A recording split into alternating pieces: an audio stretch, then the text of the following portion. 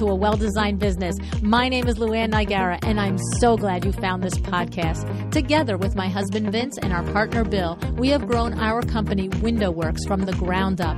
So I know and I understand the challenges you face in running your interior design business. I also know that your talent alone isn't enough to ensure your success. So on this podcast, we talk about strategies and practical steps to help you grow your business. But make no mistake about it, we have our share of fun here too, mixed in with those aha moments that I love so much. This isn't fluff. Nobody has time for that. Whether you are a new interior designer or a seasoned designer, I am here to help you create and to manage the kind of interior design firm that you dream of. It's straight talk and it's action. Are you ready? Let's get started.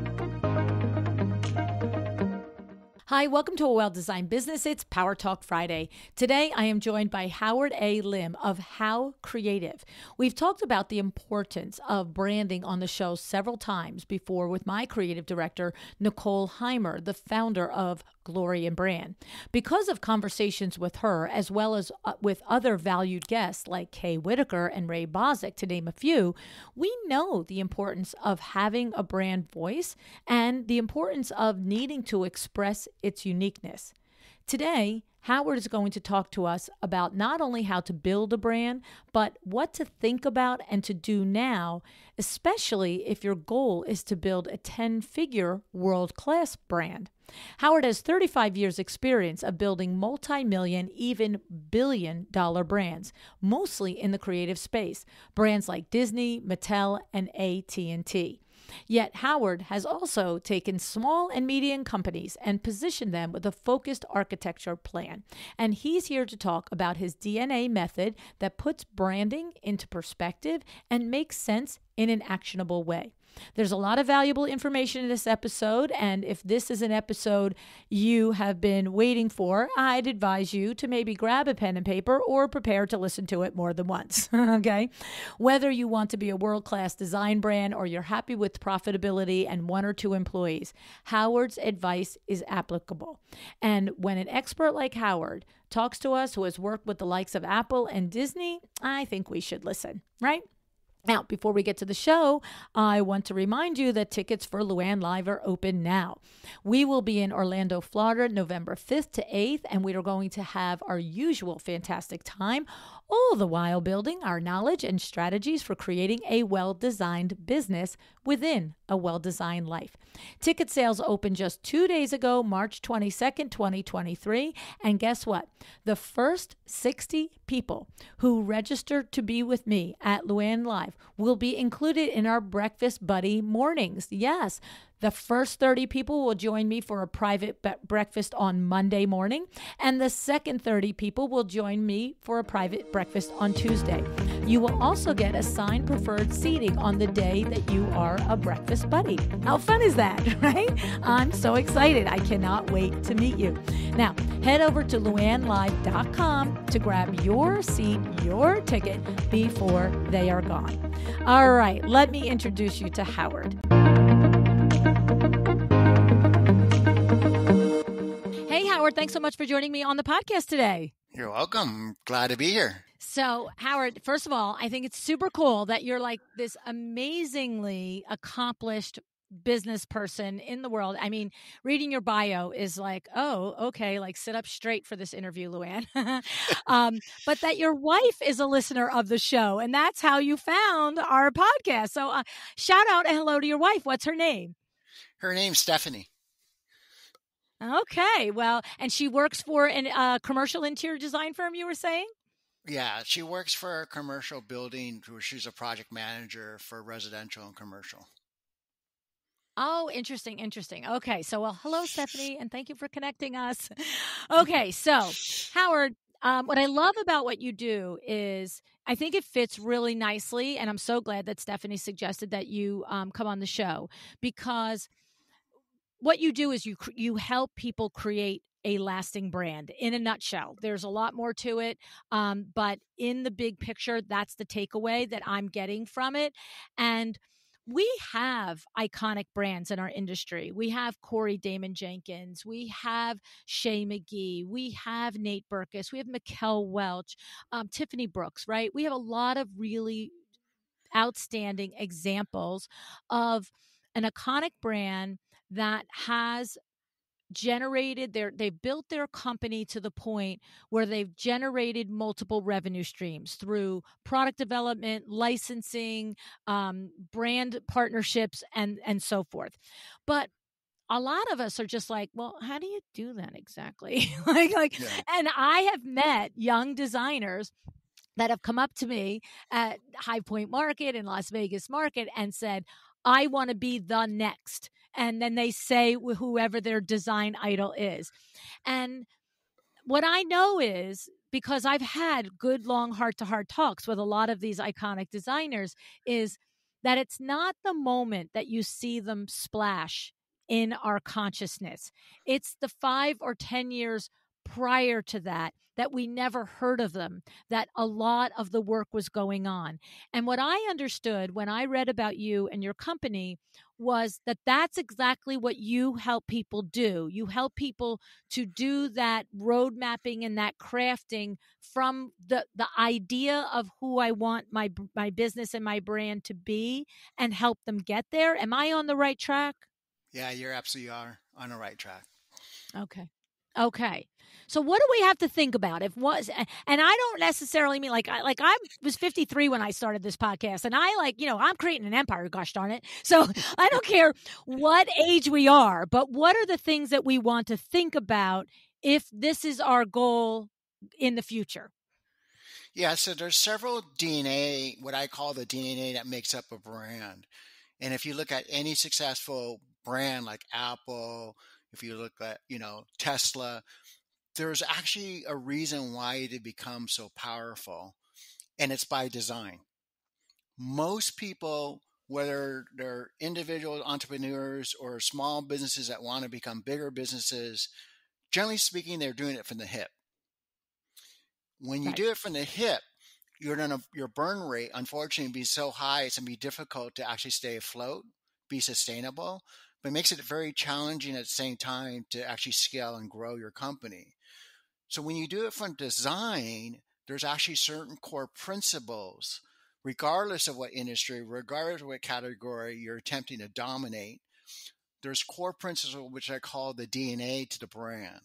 And some of these DNA pieces, code that makes up your brand, I should say, is going to be, for example, your vision, okay, would be one of them. Your philosophy, your brand promise, your core message, the brand personality, okay.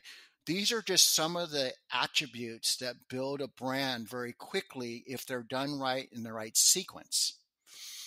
And in addition to this, is to understand that branding is a very broad topic. And there's three major points to branding. There's three major, you could say, pillars to branding strategy, there's a brand implementer, and then there's brand management.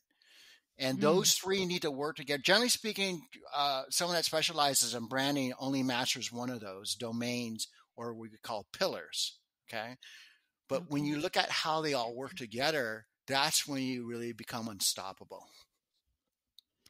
Okay, so a couple things I want to break out in there. So first of all, just to talk about those three pillars, and what you're talking about is if when you say whether we're individually the master of our own brand or we're working with maybe a publicist or something like that, often what you find is that one pillar is concentrated on and the other pillars aren't as strong and that's what what that's what the breakdown is in the difference be- between coming that becoming that iconic brand and just kind of doing it over again the same day and expecting different results Exactly. It's kind of like, you know, you enter into uh, Daytona 500 race and then you only lap 100 laps. you forget about the 400. You're not thinking of the end game. so you never managed the finish line. I did the first 100 really good, right? I did the first 100 fast. I was the fastest one. I like that analogy. I like that analogy because you could be the leader in the first 100 laps, but if you like just like trail off, like, so what? What have you done for me lately, right? exactly. Okay, okay. So whether we're doing it ourselves or we're working with somebody, we're looking for the three key areas to be with a plan and, you know, with the thing. Now we're going to go back to building that plan and like building that strategy, right? So the strategy is the first one. And you're saying that it begins with establishing your vision, your brand promise, your core message, the personality of your brand. And so what would you say? So when you're working with a more established company like you've worked with Disney and you've worked with like lots of these big companies, right? And so when you come in and you're working with an established company and even if it might be an established design firm, maybe they're 8 or 10 years in in business, they probably have an idea. If they listen to this show, they know what their vision and their mission is because I like bang it into their heads a hundred times a month. However, um, they probably have a concept, but a newer professional somebody who is at the beginning of their career and does have the vision i want to be a corey damon jenkins someday. Do you find that they sometimes don't really? They just know they want to rule the world but they don't necessarily know what this brand promise and this vision is or is that what you run into and you find I run into it all the time, even with well seasoned companies that are already bringing in a billion dollars. You'd be oh. surprised. Oh. Yeah, literally surprised at that yeah, they don't have a philosophy. yeah, they don't have a philosophy. but here's what happens: they run out of steam and they reach a lid, and they can't bust that lid, and they can't figure out why they can't remove that lid and go more global. Okay, so it happens on mm-hmm. all size companies, not even just individuals, solopreneurs, or serialpreneurs. It happens to all size businesses uh, where if you don't have these if you don't have these pillars in place, this DNA in place, you will reach a lid and you won't reach your full potential. That's the bottom line. And do I hear the reason why we hit the lid? And is the reason why, for instance, if I'm a billion dollar company and I have not taken the time to um, really think out my vision and my core values and my brand promise. Am I hitting the lid, Howard, because what happens is it builds me to a certain point, but it doesn't transcend and like Apple isn't just known by people who are computer geeks, right? right. All of us, you know, like the every, you eh, you can't you can't you know find three people in a room and at least one or two of them is like an Apple loyal brand. Like, oh my god, how could you have a phone and other than an iPhone, right? So is that because having that vision and that core values and that brand promise transcends the actual product that you're delivering? Is am I, am I on the right track? No, you're absolutely correct. So the vision, the way I define a vision is what legacy you're leaving behind, mm. for example. So vision for me is not about how much money you're going to make. It's what difference you're going to make. Okay. And then okay. when you start to see how this has a ripple effect, like let's say someone uses a product, right? Let's say just take an iPhone, for example. Someone used the iPhone and then they're able to actually have dialogues with their coworkers or you know people in their family or whatever it may be that they realize that this powerful tool and also called apps and chats and messages allows them to have communication that they didn't have before okay mm-hmm. well then that family starts to impact the community with that iphone and then that community starts to impact societies look at countries now are impacted by the phone right, right. it's not even a phone it's a platform Right. Nevertheless, it's really about what legacy they're going to leave behind based on a vision that that makes a big difference for how your product is going to be thought of and looked at. It's going to be transcending exactly what you say. It's going to be transcending its limitations and it's going to get into the more of the emotions, okay, and the behaviors of why someone would want to have your product or service or information. Okay, so that's okay. that's that's vision, and then the philosophy is more about why you exist. What is your quote unquote um, story? What is your quote? Um, you can look at it from the standpoint: what is your story? What do you stand for, and why? Okay. So the philosophy is why do you exist? And it has to be more than about making a product. It has to look at from the standpoint how are how can people align to who I am for based on what I stand for and what's actually going to have those people align and share the message about what I stand for that resonates with them that they're actually going to tell their friends. So it starts to mm-hmm. catch fire, right? Okay. Right, right. So from from the perspective of an interior designer, it's really having a very, you know, it's taking the time to really think about why am I doing this, right? What is the reason? What is my story? Why does it connect? And the thing, Howard, is is that we have had lots of conversations on the podcast with designers who it almost feels like, you know, aren't you lucky? Because, you know, maybe you come from, I remember way back in the very beginning of the podcast, I think it was like in the first 15 episodes, Cheryl Janis was on the show. And seven years ago, wellness and design weren't really often talked about in the same sentence. Um, right. It it really just wasn't. At, I, I, there's always the you know early adopters, but it wasn't mainstream. And Cheryl Janis had a particular personal history of multiple times being in accidents and you know different things happening to her which caused her to be multiple times in chiropractic offices and and and rehab offices and all of the things. And she said that you know these would go on for weeks and months at a time. And it was she said at one point here she is maybe turning a quarter a corner and starting to actually finally feel the effects and feeling better but going to these dingy gross places was also working on her negatively right. and so she took the plunge and she talked about how hard it was here she was an interior designer that does residences and does all the things and she just kept saying that she felt called to do boutique healthcare design you right. know, hospitality, you know. And so that's great when the story is like, yay, I've got a really solid story. But what if your solid story, like others are just like, I just, I'm driven and I, you know, I have talent and I can run a business and I just want to be the next XYZ. Like, have, do you have eh, ideas on how people can have that conversation with themselves to tap in? Yeah, absolutely. So it's looking through your lens, like meaning the individual. Okay. So as an interior designer, you're basically sharing your world with others. You need to write down like what is it that you like or dislike, and exactly what you're saying, how that impacts environment can actually impact someone's feeling and behaviors and emotions. right?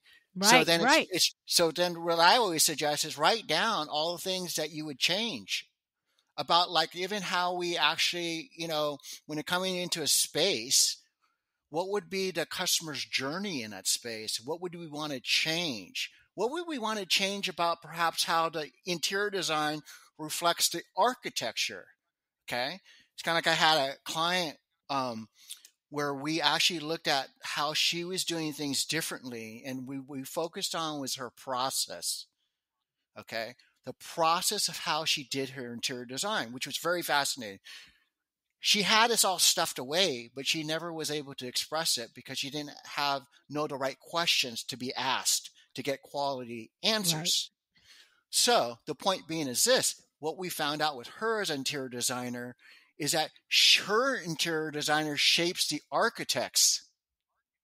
It's reversed. Ah. Okay. okay. Why? Because we found that people spend most of the time not being and observing the building, but being inside the space.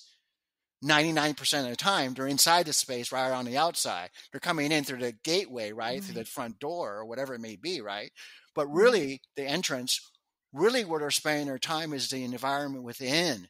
So we had it reversed mm-hmm. where she actually had an architect um, in house, by the way, but she never was utilizing it to telling her story why she sees things differently in her lens. Well, anyways, a long story short is that we showed that her process became more effective in a sense of creating such an environment for people to live in, whether it's a family or loved ones or as individual, where that environment they felt good they felt something special about it outside of the the other traditional ways of doing it, where you start with the outside architecture plan and then you work on the inside. It completely right. changed how people felt within their environment.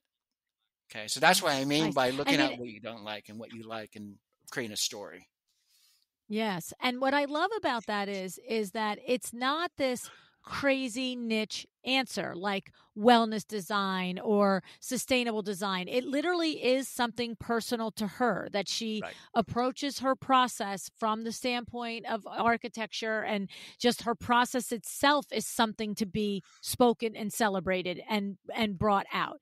So and that's that's what I love. That's a relatable example because it helps us realize we're not looking for the only thing we're looking for the thing only about us, right? Like, you know, for all my longtime listeners, they know it's our Fred Berns only. So, you know, um, anyway, okay. So now, so here's the thing we have to start uh, we do the inner work it sounds like. We have to figure out who we are. Basically what i'm hearing is who are you? What do you stand for? Why should i care? And how are you going to execute on it? Like that's what i'm hearing in your dna it's like just get clear lady or guy on what you want because if you're just the next garden variety interior designer then there's nothing to differentiate you know? Like i always say howard to all the designers on the show i expect you to do pretty like the fact that your portfolio is amazing, so that's not your differentiator. I know that each of these interior designers look at all of their uh, co- colleagues' portfolios and see the differences from theirs to them. I don't see anything different. I see pretty in all of them. like, you know what I'm saying? And so the point is, the differentiator is inside. And then it says that when you I was reading your information, it says to identify and profile your customer aspirations. So now are we turning it outward? Like how are how what does this mean? Yeah, so when it comes to building a brand, people get confused and they think, "Oh, it's the logo, it's a product, it's a service, it's a business." It's those things contribute in a mind of consumer, but ultimately, it's what they are saying, not what you are saying. A brand is what others are saying, not what you are saying. The question okay. becomes how do you influence them to say what you want them to say about you? That's where you have okay. to create an alignment between how you're positioning yourself and understanding your target market, what would be their aspirations not just problem solving, but what is the ask? Go beyond that. Don't go beyond solving a problem, becoming a solution. But what is it something you could bring to another level that they had not thought of to create such a fantastic space that they're just in awe every time they step in that space? Okay. Okay.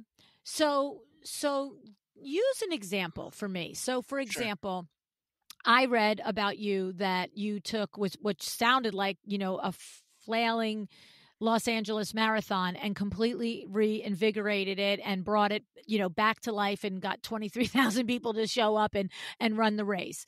So, is there an analogy or an example that you can use in there like was there in their original messaging where they weren't attracting runners was it because they weren't identifying with you know, you said, yes, you got to solve your customer's problem, but maybe they weren't identifying with this next level, this aspirational level of the customer. Is there an example in there?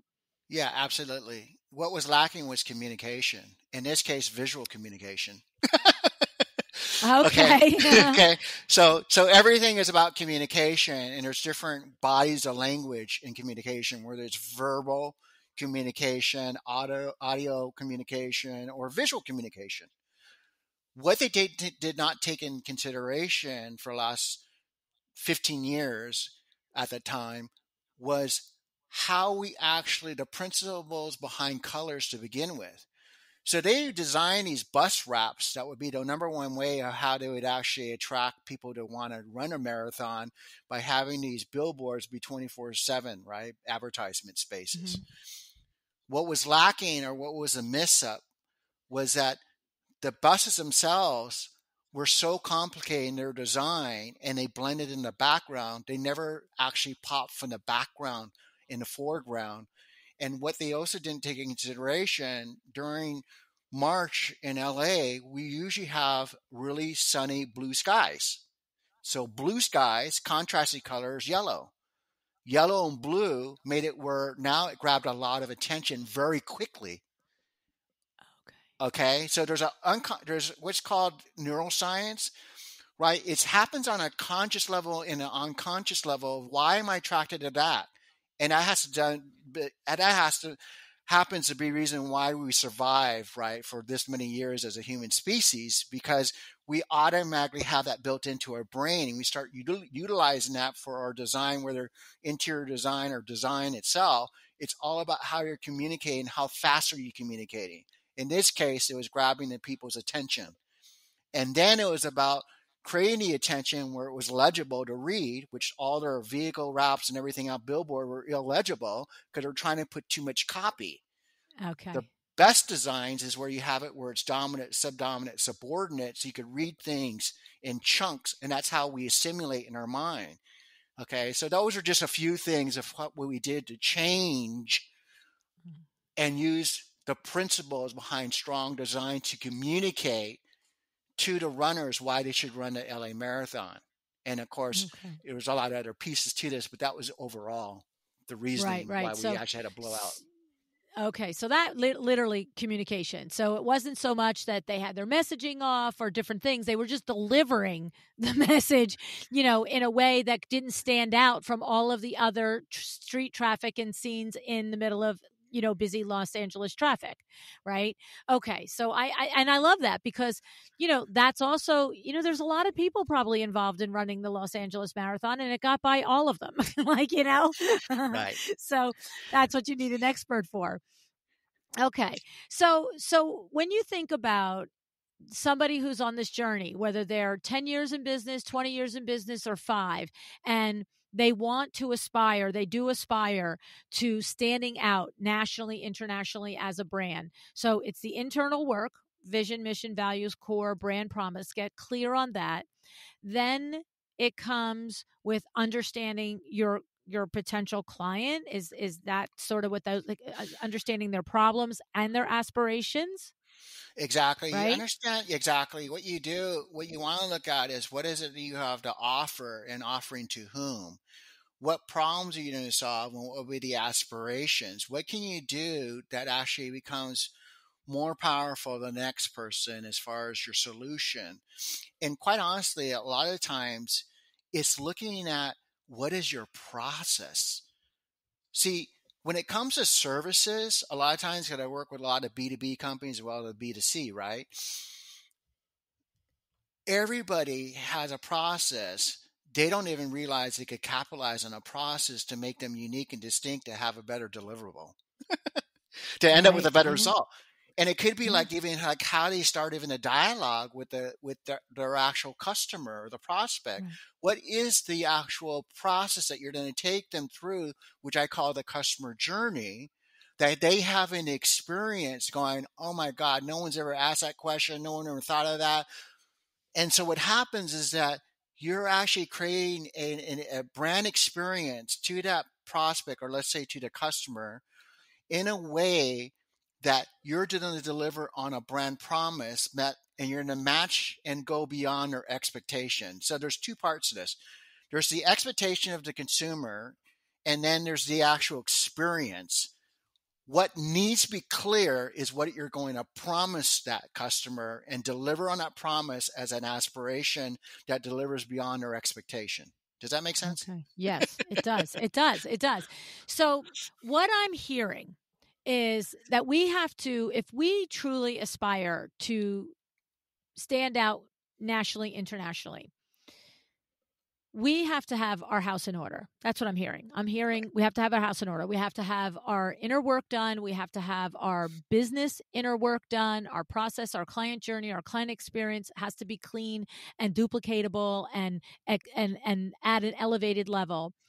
And then how what is the deal in this howard is the deal in this that you know when you, we take it back down to a granular where again somebody like a corey damon jenkins you know attracts Kravet which is Right. a national fabric company, eh, right, Right. in our industry, to them, and maybe then he attracts, um, you know, the next company. I'm trying to think of his different licensing deals. Sure. um, you know, and and and is it that is it as simple as I'm what I'm hearing? As simple as do such a good job being so good at what you do on all aspects that it's like I always say on the show be prepared to be lucky so that when you might be the one to reach out or you have the opportunity to meet that that brand that want to looks that is going to think to look to collaborate with you is it the attraction of knowing that that ship is organized and run well or am i just biased to wanting businesses to be run well? Like how like now we uh, like uh, what i'm saying is once we've done our work now how do we what what happens when we want to attract and work with the the brands that are going to be those future partners and collaborators that cr- create that global stage for us Sure. So if you're clear of your brand and what will make it a world class brand is when you're clear of its DNA, the inner workings of the vision, the philosophy, the brand personality, the brand promise, the core messaging, and then it's actually building the right identity around that to reflect who you are. So that could be your Mm. website, your business card, that could be your presentations. So now there's an actual direct reflection of really your highest potential of who you are. Okay. When you start then to broadcast that through the channels, distribution channels, meaning marketing, PR, sales, getting, you know, quote unquote reps to represent you, or let's say stay through media lines and media channels themselves, they all need to be consistent telling the same story. They all need to be consistent to mm. say the same thing. So there, therefore, all that energy that's going out is highly identifiable. And that's where you get stickiness when people go, "Oh, I know what they stand for. I know I know her her style or his style. It's consistent of how you're actually saying it as a core message throughout all your different channels, whether if it's visual, auditorio, okay, or the written word. yeah It's all being connected, okay? Yeah So that's how Yeah. you move things very quickly is when you do have, you're right, you do have a strategy and a structure in place. By the way, when companies want to do license agree with, with you, you better have a structure in place because you got to Yes. duplicate that same sensation for them. So it's like, think of it like a franchise. It's a having a Right. recipe that's duplicatable. Okay. Right. But you have to first Yeah. master that recipe. And un- by the way, a lot of times with a lot of clients, depending on the on the industry, we actually come up with a trademark name for that process, and we Mm. actually register it with the Mm. government, saying this is our process. This is what's making us unique from everybody else. And then you start broadcasting whatever that word may be or that statement may be through your channels, through PR and marketing and sales and so forth and so forth. Therefore, people will want to call it and go, okay, I want to have that intel, whatever the brand within the brand, right? They they want that Mhm. special formula, right? But that special right. formula is basically your signature style of how you do things differently than everybody else that rises above all the stuff that's out there because now you branded it in a way that sticks in the mind of the consumer. Ultimately, what it is is to be a big enough brand that you're actually occupying space in the heart and the mind of the consumer that when they think and see anything that triggers a thought, like your like you know, the logo, the name, it automatically triggers in their back of their mind, going, "I know what they stand for. I know why I should buy them. I know why I should purchase them." That's what happens with licensed agreements. They the licensing companies understand what they stand for because it's instant recall. There's Right. this is, goes into the neuroscience of things.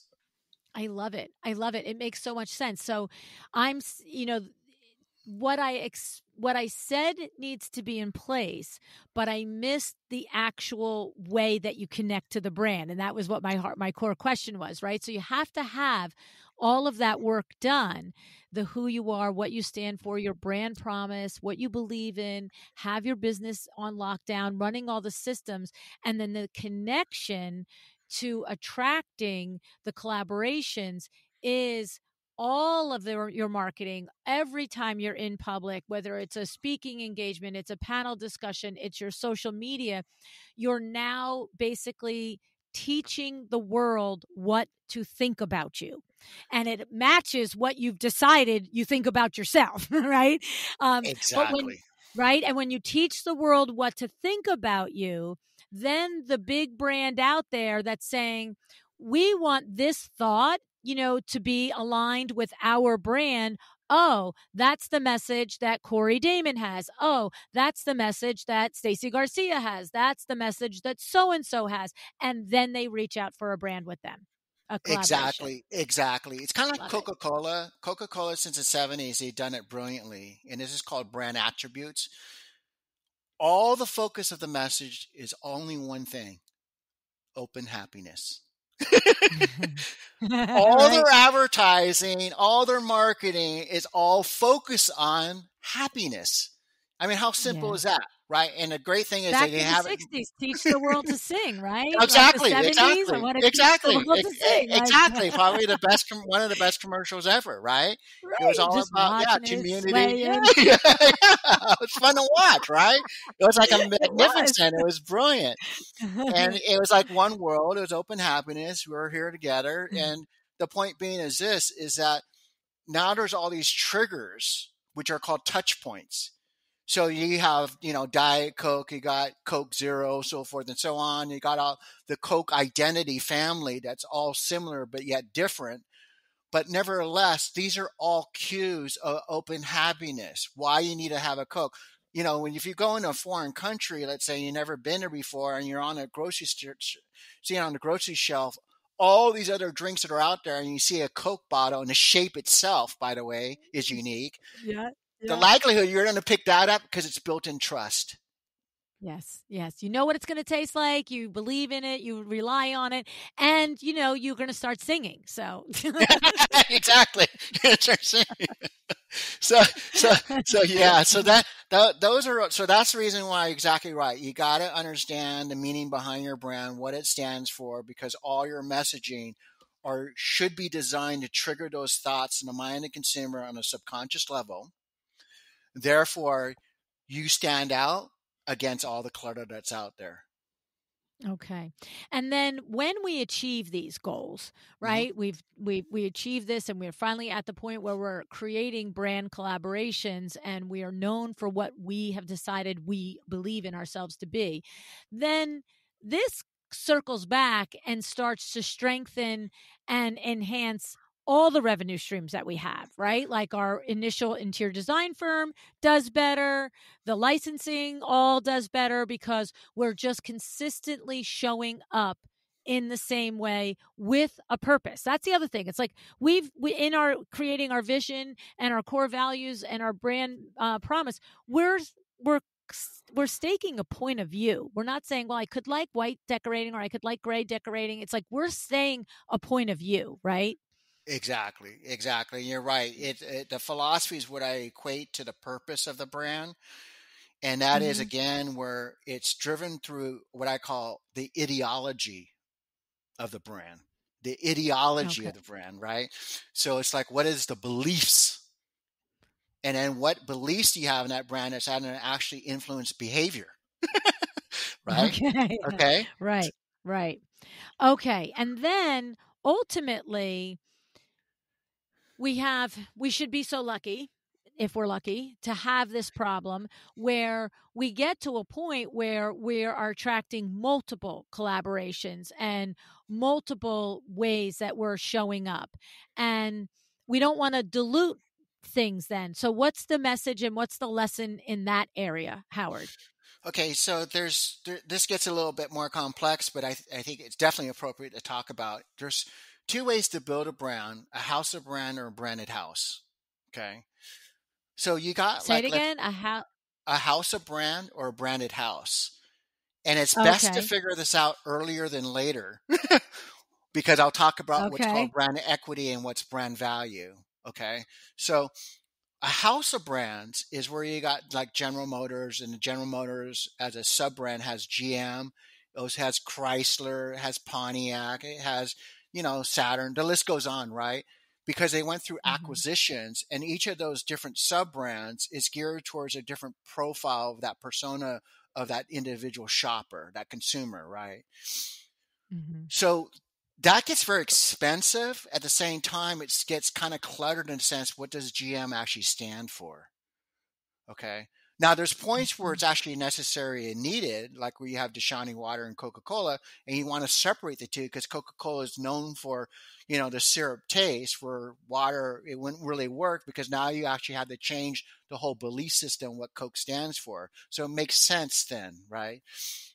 When it comes to a branded house, a branded house, it's where you're actually working off one brand, which is usually the parent brand, and then you have the sub brands, but they're all associated and tied into that parent brand.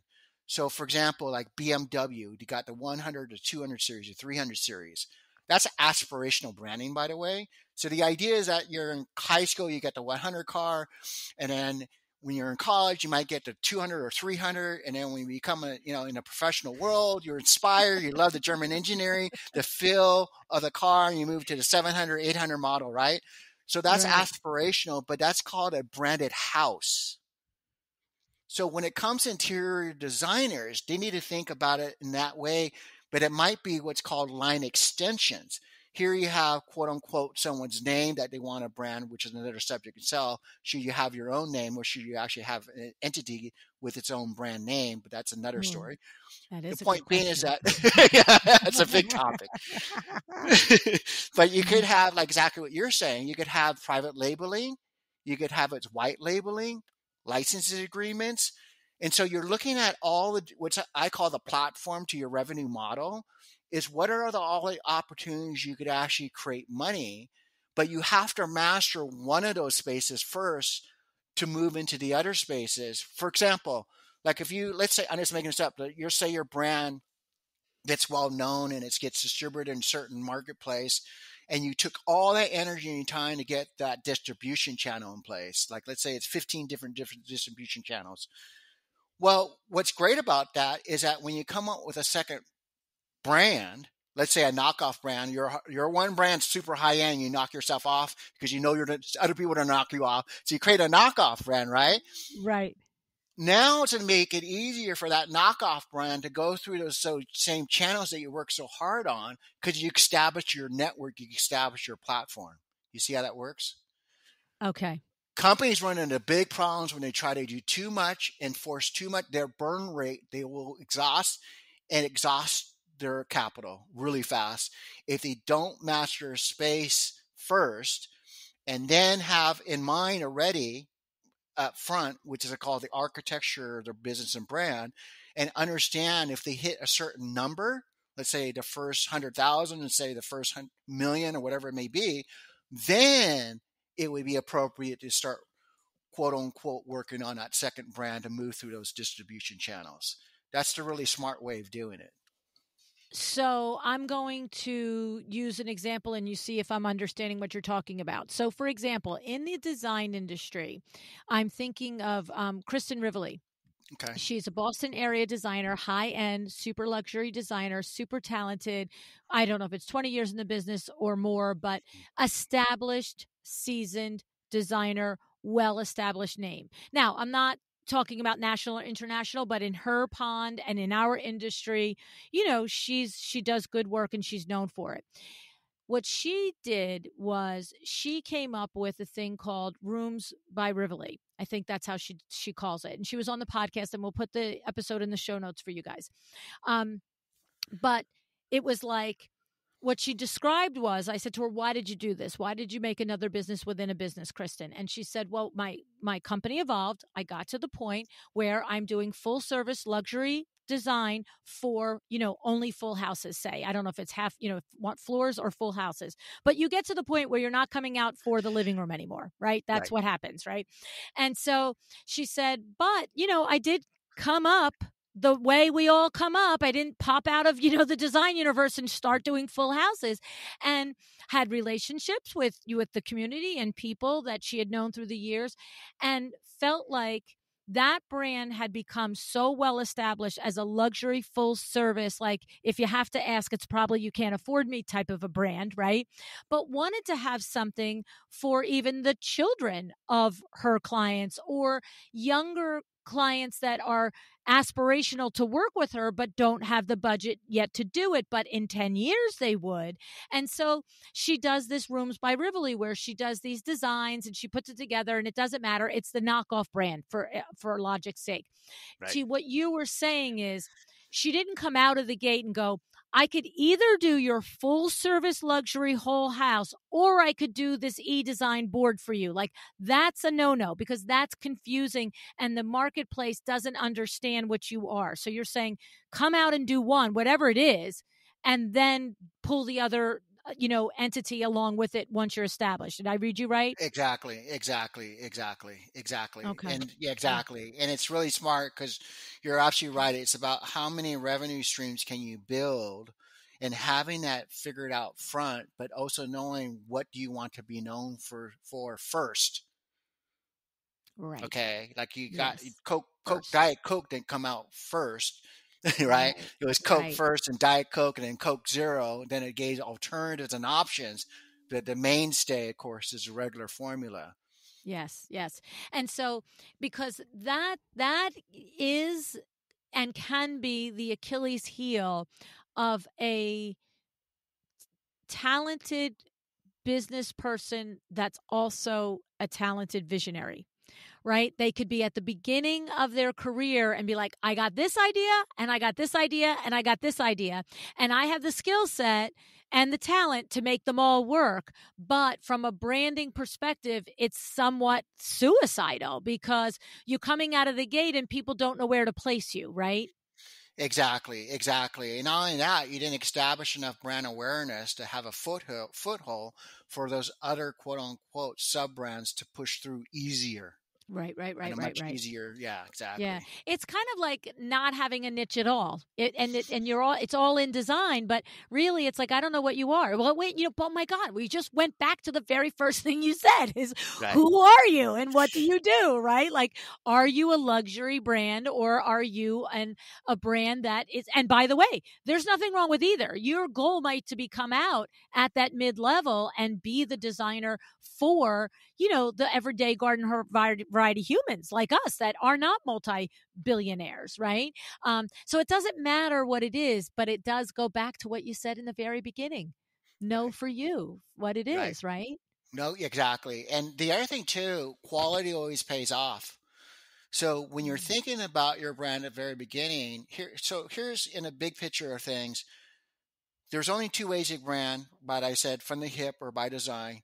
The other way and when you take that formula as well, there's only one category you could occupy either by va- um, price driven or quality value driven. In the real world, there's only one that could also only be price driven because now you're talking about sheer volume like Walmart. Mm. All others must show that you're quality value driven. Otherwise, you're going to get beaten up in the price and beaten out of the market and actually dissolve as a company. That's why you have to have a brand that actually then quote unquote tells a story why you're value driven and what problems you solve around that space, but better yet, again, aspirational, go beyond what the customer wants. Right. Right. I love it. I love it. It's so good. I mean, he gave us so much to think about, Howard, really. Um, I feel like this is the type of show that listening to it a second or a third time, I would hear different things, right? You know, almost like, oh, he actually said in there that, you know? Um, so I appreciate that kind of show, that kind of conversation, because it gets me thinking. And what I love about it, too, is, uh, you know, I can't not give a shout out to Nicole Heymer, who is the CEO and the founder of Glory and Brand. And Nicole is a, is a good friend of mine. She's my creative director, Howard. Um, she has been a co author in um, my, one of my Power Talk Friday experts books, and her domain is she creates websites, but she creates them from the brand first. She's not the kind of person like, oh, you want a flower there, you want it blue, you want it this. Like she has this whole discovery process. You can't just have a website. Like I have to do a deep dive on your psyche and what you want and who you want to want what you want and all the things.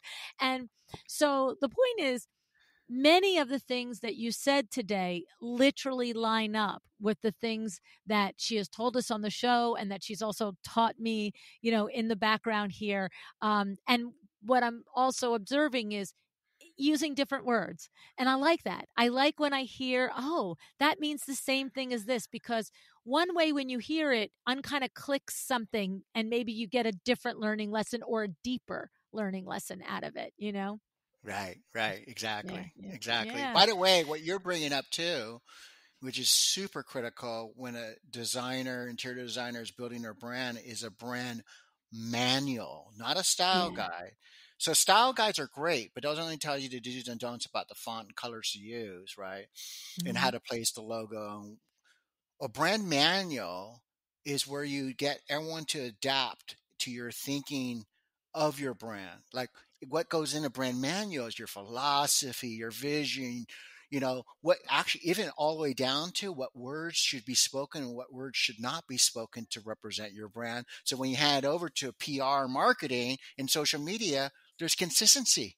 Oh, I love You that. see that? So it's so I it's love that. it's keeping control of your brand literally it's keeping control of your brand just like you do with interiors of companies where you have procedures and policies to keep control of your culture is exactly the same thing but it's going to be a much broader because we're talking about all the stakeholders Yeah. Yeah. Yeah. Yeah. But you're right. I mean, there are certain things like, you know, expensive versus investment range. Like there's ways that as the CEO of your company, you have certain things that you like I'm like I'm the same way. I don't do my own emails, right? I don't read them and I don't do them like I eventually, you know, but it's a lot for me. It's um verbal communication with my assistant and there be times when I'm like, and she's so good. She she gets me, and so I'll you know the email. She'll put the email on my Monday board, and then I voxer her. Okay, this way. And there's times when I'm like, this is my intent. This is how I want to convey it. This is my feeling and my end game. And so those are the things I tell her, right? Because it could be somebody's pushing me around, not not making an appointment, but sometimes I care and sometimes I don't, right? So sometimes I'm like, look, this is their last chance. And I don't care if they make another one. We're still nice. We talk nice out loud, but Yeah. I don't really care. And other Right. times I'm like, and I really want to meet with this person. So let's rope them down, but do it this way. Right. But I don't give her all the words. But Right. every once in a while, I'll be like, here is the verbatim thing I want you to say. Right. Right. Because it is it there's words matter and so to have a brand manual all the way down to the words that you use i think makes a hundred percent sense i like Yeah. that yeah Yeah, this is really how good, this is really how good. people are going to be able to control quite honestly their publicists. Everything that has to do with how they want to be seen and heard literally. Yes yes yes yes yes yes love it i love it. So i have one little question which might not be little but let me ask it before you go. Um naming your business your interior design firm sally smith interiors versus dunes and beaches interiors okay? My listeners are like oh my god you drive me crazy land okay so the thing is that i feel like when i started seven years ago i noticed way more firms with a not not generic but a name that's not their own name. And Right. now i feel like everybody's firm is named their name and i notice many have gone from a quote unquote generic name to switching it to naming themselves. But what's so funny is i feel like even in the last 3 months people are chattering about going back to not having the name as the name of the principal. So it's like almost like tiny little whispers. But what's your what's your take on that howard Well, I, it's funny that you ask that because right now with interior design and architect, we're changing the company name because it is our personal name. But we found out what why this is an issue is because as I hire more people, even the employees feel like they're not being quote unquote um, adding value to the company's brand because the company's brand's name is the individual, the CEO, or the founder.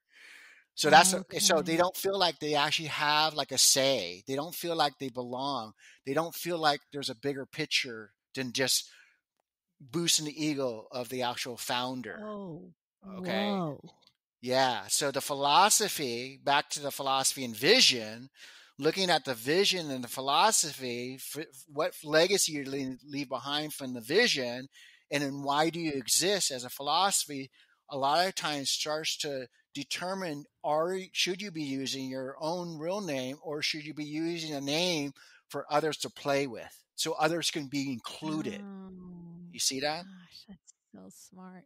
So I see that because the way that that individual CEO functions and the upper management team functions is the same. They're still inclusive, it's a team environment, all the things, but the way the effect emotionally is on the greater team is that it's all about this person and not all about all of us creating something. Oh, exactly. Oh, how that's very subtle. That's interesting. And it makes me think of Shea McGee. Let's think about this, guys. It's not Shea McGee Interiors, it's Studio McGee. And that still has her name in it, but it still is like the studio is all of us. It's right. whoever answers the phone and whoever I send out on your project, even if it's not me. It's Studio McGee. So even that tiny nuance, I feel it in my gut. I feel that difference in my gut as opposed to Shea McGee Interiors. Yeah, we did this for another another in another industry. A speaker was Ray Higdon, and we changed to Higdon Group. Yes, yes. Because yes, now yes. there's more people that can participate on the stage. By the way, and then not only that, right. then a lot of times people are looking for that individual, whether it's interior designer, or artist, such as like Tony Robbins. He's screwed. Yes. Although he could call me, I could put a wig on. Still, you know, but I'm just saying. Tony. so, so a lot of people were, why, yeah, but when people call up, they go, "I want Tony live. Why is this other yeah. speaker doing it in his place?" So it causes yes. a, it causes a lot of quote unquote false expectations, false mm. expectations, and it's yes, all impacts yes. the brand. By the way. And so we're going to end it right where we started. It's literally think about when you start where you want to be when it's done your, your legacy what do you want to and if if you because you know howard we have many i mean i would venture to say thousands of designers listening that their goal is to have a firm maybe one to two employees at max make a great living make clients happy, change their lives with beautiful spaces. And that's that. We might have 10% of the audience that is like, I'm going to be the next. But if you're thinking you're going to be the next that's that's a great way because i can see that if you've got 20 30 people working for you it's it's a different who is the company we're working for it's all of us or is it just you even right. though you might be running it the same way there's that intangible feeling. So good. I'm so glad I asked you. Thank you. You're welcome. All right. So now, um, We'll put details in the show notes, um, but people can work with you directly.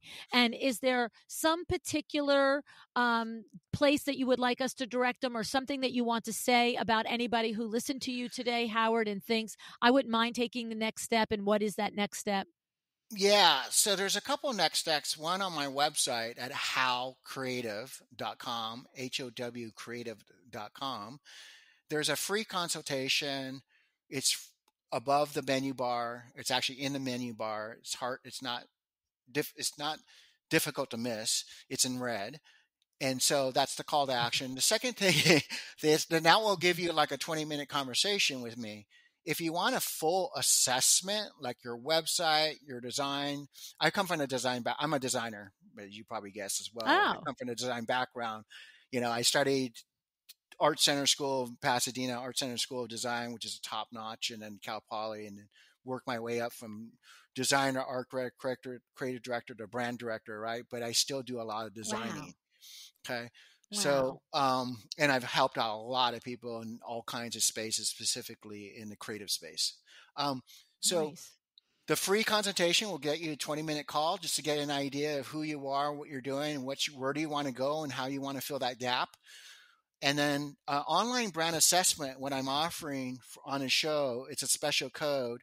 if you go to howcreative.com forward slash online dash brand dash assessment, that will take you to a form to fill out and that will get you a full hour with me to mm. evaluate anything that you're using to express your brand, your logo, the name, the website, um, anything, storefront, signage. I've, I, I, I've, we do this all, by the way. I, we do everything from advertising, commercials, everything. So I'm able to look at it and look and give you solid feedback to go from good to great, to figure out what's missing, your value proposition. So if you fill out the form, it's a credit card form. It's usually $2,500 for this, but there's a place that says apply coupon. And if you put HOW how and hit apply, it will only be $500. Okay. Oh, wow. so, and you'll get a full hour, you'll get a full hour with me uh, of 35 years of experience of building, you know, multi-million and seven separate billion dollar brands. So I'd be able to help you out. Awesome. I love it. I love it, Howard. Thank you so much. I appreciate you giving us the code too. So that's fun. All right. Well, I, I just, I'm just so impressed and just so grateful for your expertise today and um, for your time today on the podcast, Howard. Thank you. You're welcome. It's been my pleasure. You know, it's, it's my pleasure. I always think of, you know, in our space, in the creative space, is that we create all the rea- reality around us. So why not think big? Mm. like literally everything. Everything around us is created, right? From nothing. Yes. Yes. You're so right. You're right. Literally everything. oh my goodness. Well, thanks so much. You're welcome. Thank you.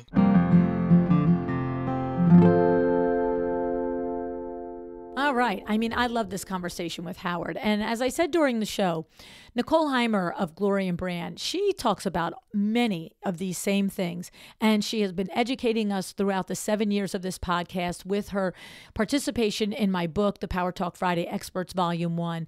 Uh, but hearing, you know, same message, ideas from a different voice sometimes helps, right?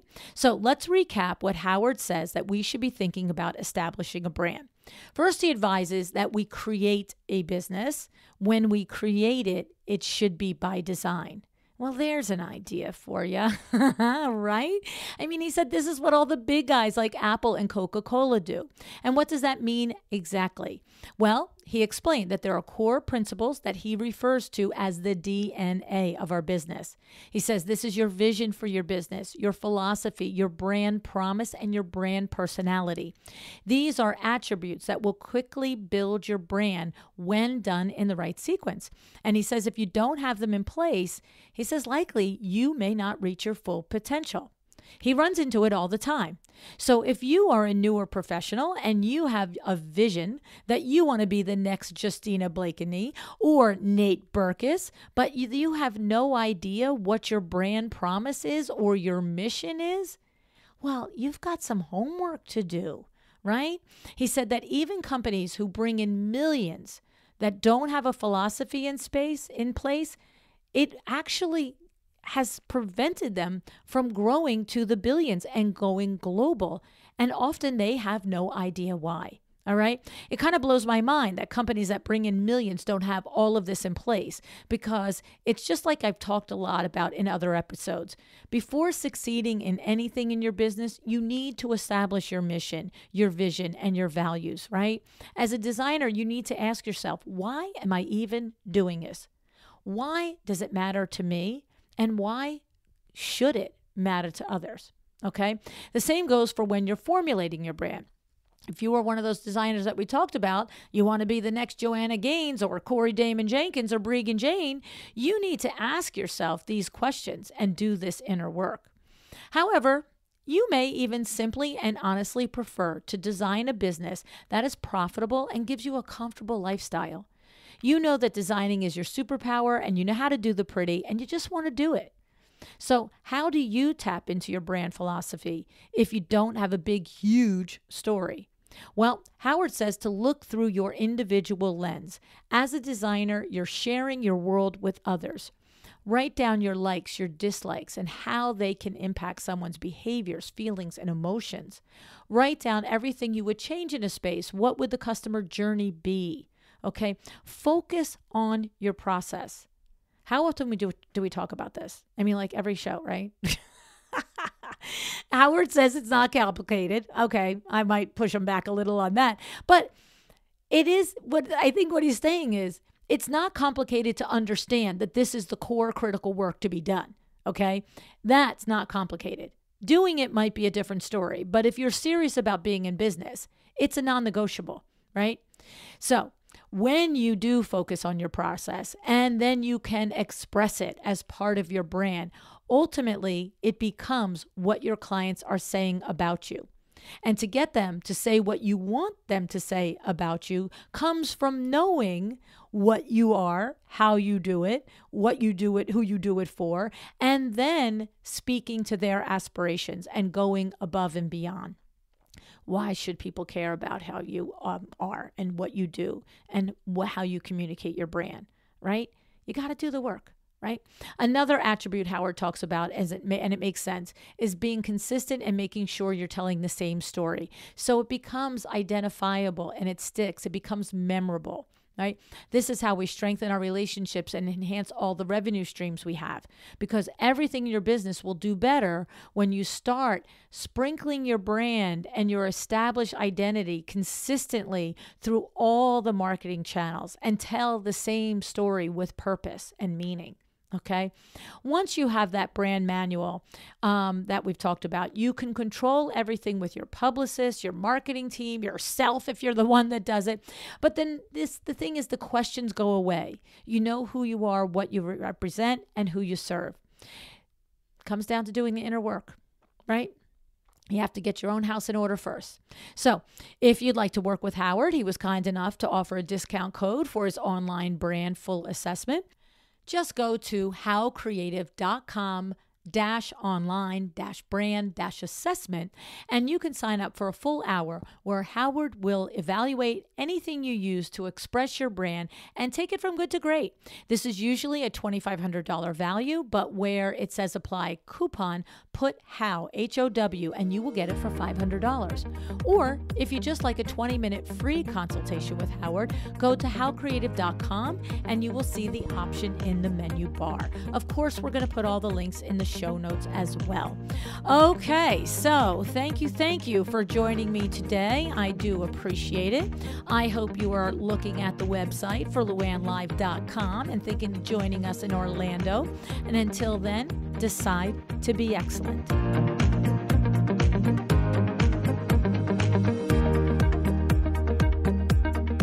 Thank you for joining me today. This podcast is a production of LuAnn Nigara Inc. If you want to know more about me, my books, or LuAnn University, go to luannnigara.com. And if you are interested in having WindowWorks help you with your next window treatment or awning project in the New York, New Jersey metro area, go to windowworksnj.com to learn more. Have an excellent day.